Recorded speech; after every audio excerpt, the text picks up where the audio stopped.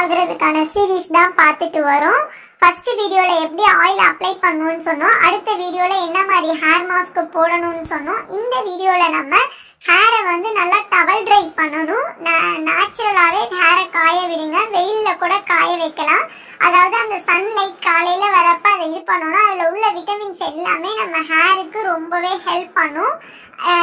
Dryer எதுவும் use பண்ணாமல் நீங்கள் இருக்கப்ப ஹேர் ரொம்பவே நல்லா உடையாம ஸ்ட்ரென்த் இருக்கும் ஸ்ட்ராங்காகவும் இருக்கும்.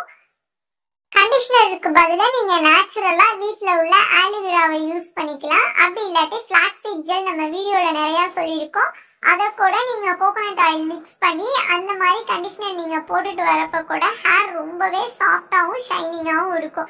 கண்டிஷனர் எதுக்கு யூஸ் பண்ணுறோம் ஹேர் வந்து ட்ரைனஸ் இல்லாமல் இருக்கிறதுக்கு. அதுக்கு நீங்கள் ஆலிவிரா யூஸ் பண்ணுங்க. அதுக்கு தகுந்த எல்லா இதுவுமே இதில் இருக்கு. இதோட கண்டிஷன் அடுத்த வீடியோவில் பார்ப்போம்.